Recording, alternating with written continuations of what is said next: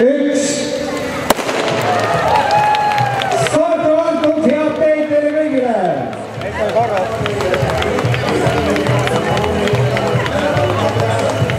kümme ja selle kümne kilomeetri distantsi võit, meil on hea meel äh, selle üle, jäi Eestisse ja selle võttis tänavu Tiidrek Nurme tulemusega kakskümmend üheksa minutit nelikümmend kaks sekundit. talle järgnesid kaks geenlast, Tiidreku sparringupartner Ibrahim Mukunga Makira ja pikka aega jooksu võitnud ja meile tundus, et, et ka tänavuse siis sügisjooksu võidu nimel äh, minev mees äh, Viktor Kamurek-Etjen